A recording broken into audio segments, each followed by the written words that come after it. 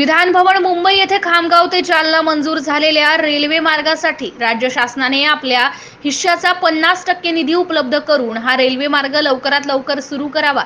या मागणीसाठी राज्याचे उपमुख्यमंत्री नामदार देवेंद्र फडणवीस यांना बुलढाणा लोकसभा मतदारसंघातील महायुतीच्या लोकप्रतिनिधींनी सत्तावीस फेब्रुवारी रोजी निवेदन दिले बुलढाणा जिल्ह्यातील भाजपा तथा महायुतीच्या नेत्यांनी या संदर्भात उपमुख्यमंत्री तथा गृहमंत्री देवेंद्र फडणवीस यांच्यासोबत सविस्तर चर्चा करून हा प्रश्न लवकरात लवकर मार्गी लावण्याची विनंती केली आहे. तर याबद्दल शासन सकारात्मक असून लवकरच हा प्रश्न निकाली काढण्यात येईल अशी आश्वासन फडणवीस यांनी निवेदनकर्त्यांना दिले आहे.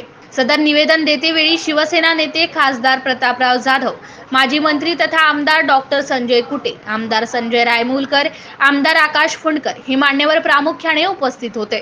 एमसीएन न्यूज मराठीकरिता रवींद्र शिरस्कार.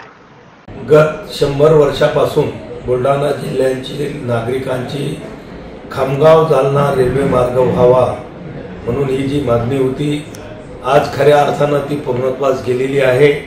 गेली पंधरा वर्ष मी सातत्यानं लोकसभेमध्ये त्याच्यासाठी प्रयत्न केले. त्याचा सर्वे झाला त्याचं इस्टिमेट तयार झालं. रेल्वे बोर्डाकडे ते सादर झालं. आणि रेल्वे मंत्रालयाने महाराष्ट्र सरकारला पन्नास टक्के निधी देण्यासंदर्भातलं पत्र दिलं.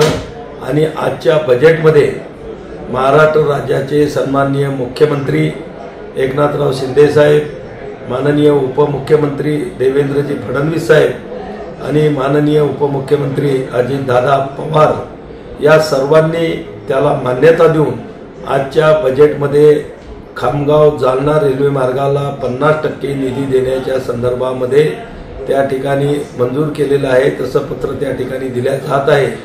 आणि ही मागणी आता पूर्ण होत आहे याचा मला मनापासून त्या ठिकाणी आनंद आहे. धन्यवाद.